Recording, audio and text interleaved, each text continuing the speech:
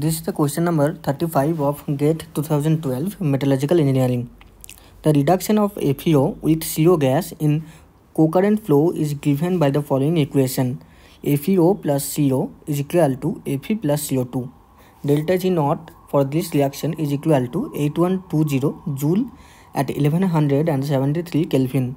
The ratio of PCO by PCO2 for this reaction at 1173 Kelvin is option A 0, option B 0.25, option C 0.44 and option D 2.3.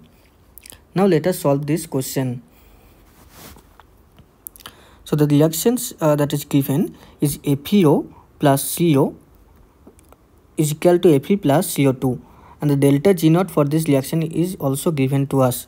Now as we know for any reaction the delta G is equal to delta G not plus R T L N Q Q is is the reaction question so now at equilibrium so at equilibrium at eleven hundred and seventy three K kelvin we can write is delta G not delta G will be zero at equilibrium delta G not is given plus R T L N so this Q will be K equilibrium So now we can write it as K equilibrium will be exponential of minus delta G naught by RT. So now for this given reaction, the K equilibrium will be activity of Fe into partial pressure of CO2 divided by activity of FeO into partial pressure of CO. Now as Fe and FeO both are forming in the solid form, so the activity of those uh, Fe and activity of FeO will be 1. So K equilibrium will be ratio of PCO2 divided by PCO.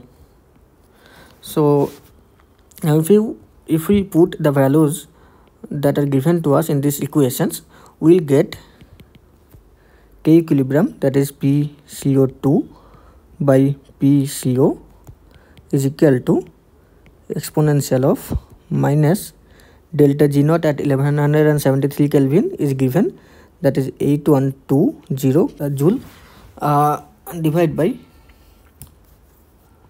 R is 8.314 and T is 1173 Kelvin.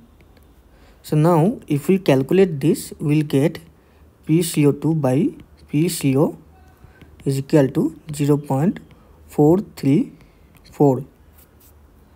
Now the question in, the, in this question it is asked to calculate the ratio of PCO by PCO2. So the ratio of PCO by PCO2